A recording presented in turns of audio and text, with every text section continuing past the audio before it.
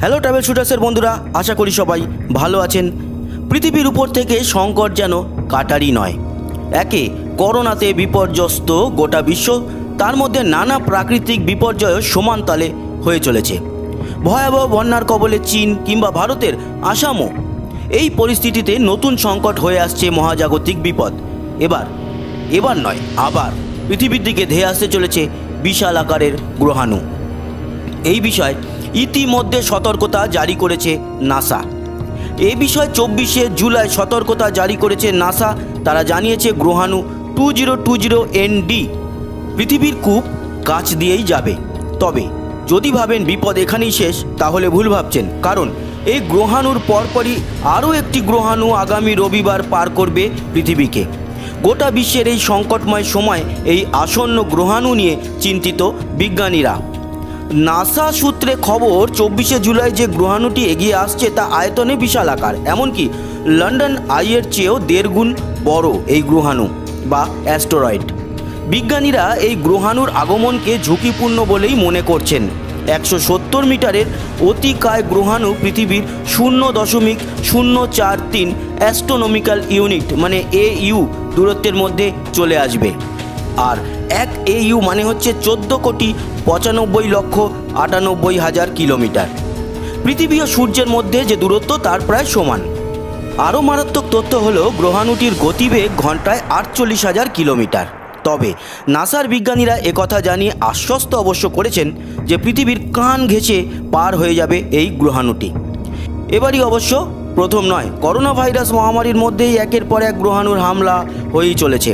June মাসেই পৃথিবী লক্ষ্য করে তিনটি বিশালাকৃতি গ্রহাণু ধেয়ে আসছে বলে আগেই সতর্ক করে দিয়েছিল মহাকাশ বিজ্ঞানীরা। ওই গ্রহাণুগুলির কোনো একটির সঙ্গে পৃথিবীর ধাক্কা লাগলেই মানব সভ্যতার কিন্তু বড় সড়ো ক্ষতি হতে পারে বলে আশঙ্কা করা হচ্ছিল। তার আগে এপ্রিল মাসের উনত্রিশ তারিখেও গিয়েছিল nineteen ninety eight O R two.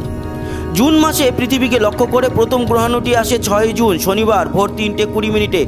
ওই সময় গ্রহাণুটি পৃথিবীর সবচেয়ে কাছাকাছি ছিল।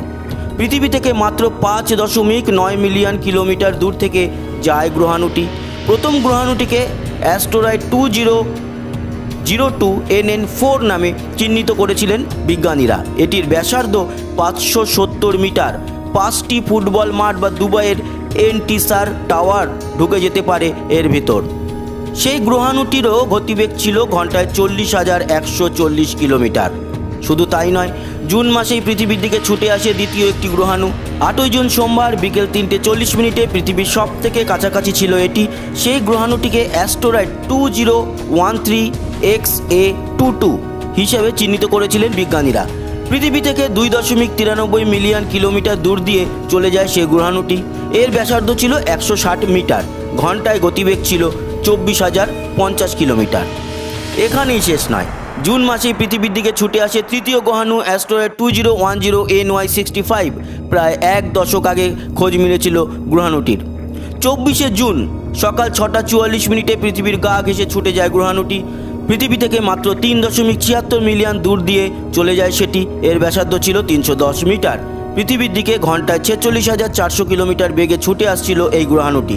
এবার পালা asteroid two zero two zero ND এর।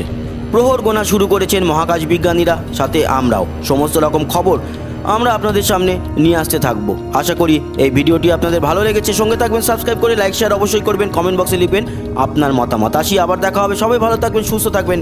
টাটা।